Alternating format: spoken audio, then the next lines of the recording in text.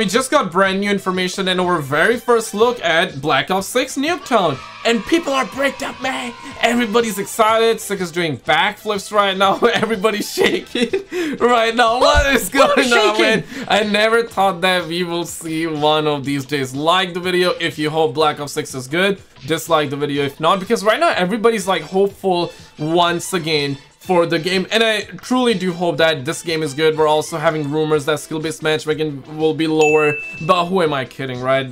That That is remain to be seen, so guys, do not let your dogs out this early, man. I'm just saying, bro. I'm just saying, like this video and let's just get into it. Roll it. We're going to be talking about our first look at Nuketown over in Black Ops 6, some new map discoveries, plus even more for multiplayer. Definitely stay tuned. But okay. before we jump into that, be sure to hit that subscribe button down below, yep. drop a like, and as a like and subscribe, and shout out to the homie DK.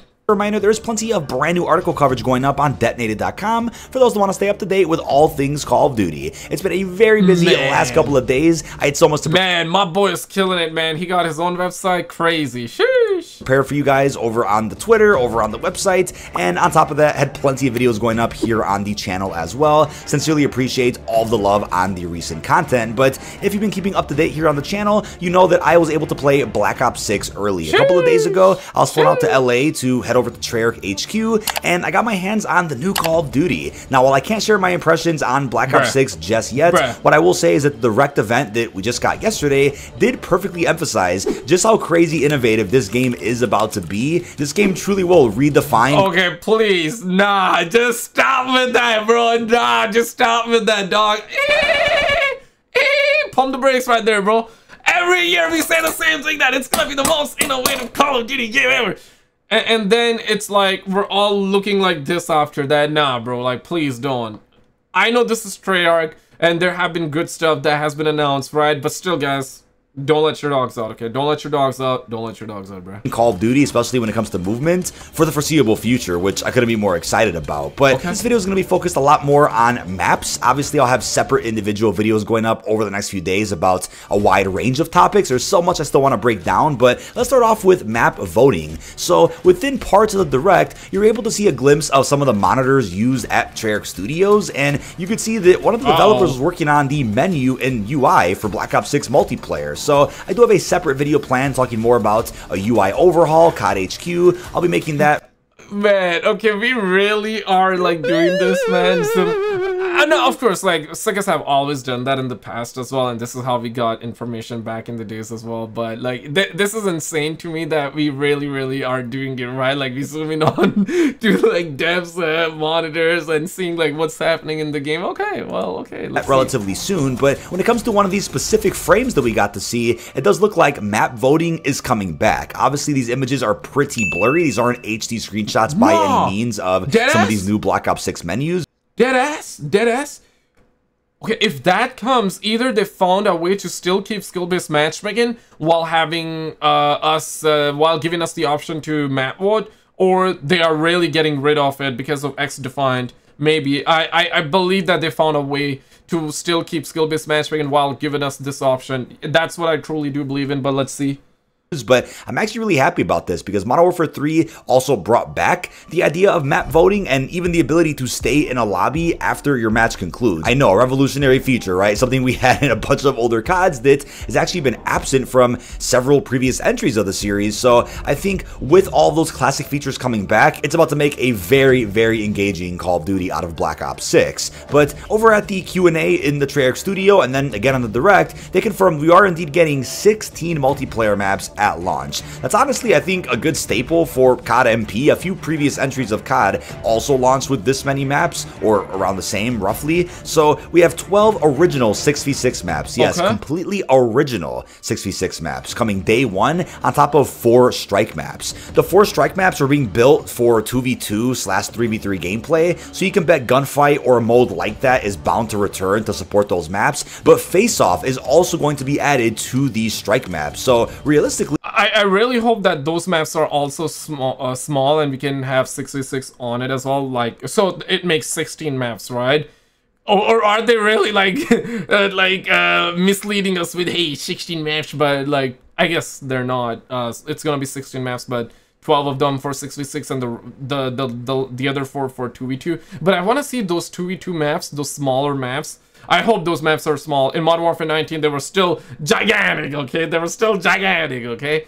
But I, I want to see like more small maps in the game though. Yo, like Yalsikas need to make it uh, similar to Nuketown, right? Nuketown is making a comeback, and I think that's good. I think for for a game like Black Ops, yeah, Nuketown is good. They can always bring it back. That's perfectly fine. That's one remaster that they they got to at this point always bring it back, make it better and better. And yeah, surely bring it back. I wouldn't even mind like if you were to bring all the other iterations of the Nuketown maps as well, like the original Black Ops 1, Black Ops 2, Black Ops 3, Black Ops 4, Black Ops Cold War. Yeah, I, I seriously would not mind all of them coming back in this game. Yeah, oh hell yeah, absolutely, alongside the new iteration that they're gonna make for Black Ops 6, so that's one map that they can keep on remastering. But I want to see more smaller maps too, so in the future, they have something else to remaster too, you feel what I'm Bruh. saying? We need more uh, smaller maps, like we need to also create new memories going forward as well. How long can they rely on nostalgia and the remaster maps?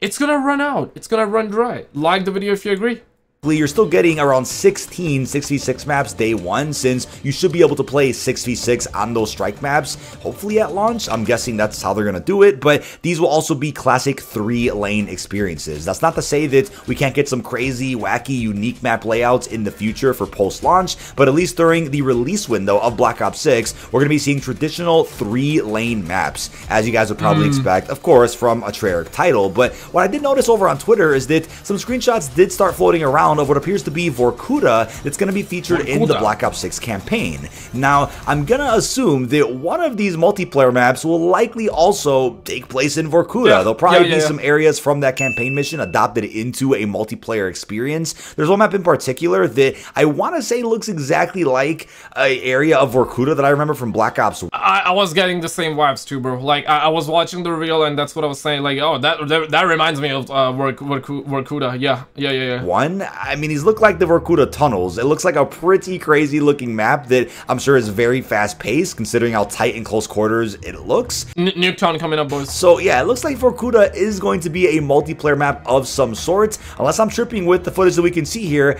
at the very least, it will be featured in the Black Ops 6 campaign. And mm. what do you know, as expected with every Call of Duty title, whenever there's some badass areas of a campaign, you can bet they'll make their way into other game modes in that title at some point, either during the launch window or even during post launch. So with that, if you guys are wondering, wait, how many maps are going to be dropping during the postseason of Black Ops 6? Well, let me remind you guys that... I, I hope more than two, bro. I just hope it's going to be more than two. Because if you remember, Modern Warfare 2022, the most advanced Call of Duty game ever, those suckers dropped one new map after five months. Yeah. After five months, we ended up getting one new map. You wanna know why? This was the reason. Friendly UAV Online! Because they were making a lot of money with Friendly UAVs Online, with the bundles, the BBC bundles, the, the, the anime waifu skins and all that. So they were like, hey, we do not need to drop any map, bro. We do not need to drop any map, bro. And, and, yeah, we ended up uh, just getting the bundles, bro. And no maps, no maps. I hope this time these suckers don't do that and we get uh, actual content. Like the video if you agree. Cold War really set a standard at the time for how many maps should get added during bundles or maps. Like for bundles. Oh, I mean, like for maps. Bruh. Dislike the video if you want to just see bundles only yeah, let's uh, let's uh, figure this out together. Post-launch cycle, there were several solid maps added throughout each season, and although the game did launch on a bit of an odd note because there was a limited amount of multiplayer maps, the seasons quickly fixed that problem. So you can bet with even more years under Treyarch's belt for Black Ops 6, they're going to be adding in a ton of maps into Black Ops 6 multiplayer. But looking at a recent entry like Modern Warfare 3, Sledgehammer has absolutely set a standard for how post-launch should work for Call of Duty. I'm not even just talking about weapons weekly challenges, events, cool crossovers. I'm talking about 6v6 multiplayer maps or just MP maps in general. Crazy, They've done huh? a great job, and I think it's actually scary. Yeah, I, I heard this from a lot of people, I, I believe even BlameTruth, uh, who's considered to be the the call the big time Call of Duty hater. I, I don't think he's a Call of Duty hater. Uh, he has uh, his reasonings, you know what I mean, right? Like, uh, uh, and a lot of the stuff that he talks about, we talk about it as well. Yeah, so yeah, he's not a hater in my opinion, but okay, whatever. But but like even even he was saying that Sledgehammer Games is actually pretty has been pretty good a lot of people are saying Sledgehammer has been very, very good, and I believe that. Uh, I didn't buy Modern Warfare 2023, first Call of Duty game that I didn't buy, and apparently people are saying that the post-launch content was good. Everything else was kind of wacky, though. You know, it was a remastered, a remaster maps. Uh, the idea of remaster maps was not like uh, a bad thing. Like people wanted Modern Warfare 2 original to remastered, but the fact that they added that in Modern Warfare 3, titled it as a new game, basically put like they they made it sound like a new game when it wasn't, and that's what people were like. And, and of course, the price was seventy dollars. Had it been, it was like thirty bucks or 40 perhaps that's pushing it though. A 30 if it was 30 dollars i feel like a lot more people would be quite chill about it and I would have bought it. I feel like that a lot of other people would have bought it too. But we're talking Activision, man. They, they want to make the monies, man. They want to make the monies. They want to uh, always milk the cows, uh, the cow titties, right? So that's uh, that's what it to is. to see what standard season three in particular ended up setting, where we ended up seeing what five, six new six v six maps. I don't expect to get that many maps every season, but considering Raven is working on the Black Ops Six campaign, that gives Treyarch more time to put into multiplayer and zombies. So you can bet that it could be possible to see that that many maps in a couple of seasons here and there. I like the enthusiasm, but let's uh, not kid ourselves. That's probably not gonna happen, dude. Uh, the reason being, as soon as this game's out, they're gonna already there's gonna be a set team on the DLC content absolutely no, make no mistake you're right uh, but but but there's gonna be another team that's gonna be working I bet you already they're thinking about what they want to do like in the, as in terms of their next game. And as soon as this baby ships they're working on the next game. Uh, absolutely. So it's not that all of the devs attention on uh, our attention are is gonna be on this game. It's uh, more than half of it is gonna be on the the upcoming game as well but either way, you know Treyarch's gonna really raise the bar and provide as much content as they possibly can with I, I hope update. So. so during the Treyarch, yeah, I, I, believe in Raw. Uh, I believe in ta uh, uh, Treyarch. I was gonna say Rockstar and then Take Two. Now I believe in uh, Treyarch. Yeah, absolutely. Treyarch has been the the best studio so far out of the uh, out of all the other uh, Call of Duty studios. Presentation over at the studio a few days ago, they actually gave us a bit of a list of all multiplayer maps that we're going to be seeing in BO6. While I'm not going to go over every single map name right now, one of the maps shown to us was redacted, but we were able to make out something out of the redacted image. It appeared to be what looked like a sandstorm that went over Nuketown, and you uh -oh. were able to depict what looked like a green and yellow house. And right away, we're all like, oh, that's Nuketown. And while they didn't exactly specify that it was, it was heavily implied that there would be a bonus map of some sort added at some point. I don't think this map's going to be dropping in Season 1. I mean, it could, right? Keep what? that in mind. But I'm thinking about the way that Nuketown was handled in Black Ops Cold War. Nuketown 84 released during the pre-season window. That was about, I think, uh, two weeks after the launch of that game, okay. and about, I want to say, two weeks. Okay, I, I, don't mind if they release it like two weeks after launch. Yeah, that, that I, I don't mind. It's not too big of a deal. But what was the reasoning of releasing Nuketown 84 in Black Ops Cold War two weeks later? Was it because the game was not ready?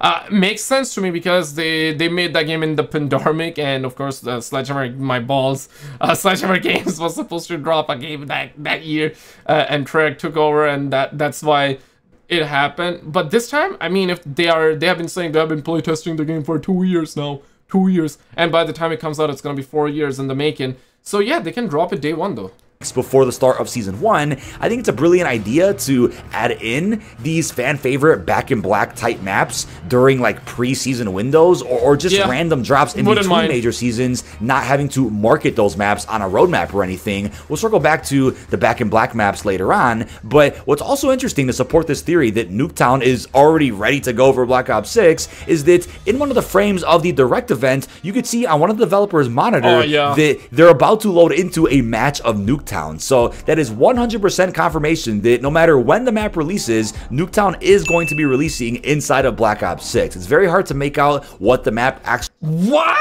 This was also a screenshot taken from a monitor? Oh shit! Oh, shit. No! I thought that was just like... Uh, uh, yeah, a screenshot that was uh, seen in a trailer. I guess it was seen in a trailer, dead ass. But my point is that we saw full screen in a trailer, not like a dev playing it. Okay, this is crazy. this is crazy, man. This is crazy, bro. Actually looks like, but if that image is actually Nuketown, the one that I saw at the Treyarch studio, then it looks like the new version of Nuketown is gonna be a bit of an interesting take where Uh-huh. like a sand dune or something is within the actual Nuketown itself, and we all know Nuketown's in Nevada, so yeah, there's a desert in the background, there's sand everywhere. It would make sense to get this type of twist on the map, which I'm looking Yeah. forward to. And as I have footage of in the background, the evolution of Nuketown over the years has been absolutely beautiful to see. There have been some really I, I also really hope we get Nuketown Zombies. Likely not gonna happen, but if we were to get it, I'm, I'm a fan of Nuketown Zombies in Black Ops 2. I, I thought I, I thought it was a very very good map. You could have, and also in Black Ops 2 Zombies, you could have started playing zombies on round 20 as well. So it was like uh, just go in and yeah, just survive as much as possible, uh, get your weapons, all that. It was a real challenge. I, I love that part. Let me know your thoughts as well. And guys, check out this video on the screen because recently we got beta download for Black Ops 6 as well. Yeah, we got all the information on when you can download, how you can download, the size and everything like that. Check out this video on the screen. If you already seen it, then check out the video on the left.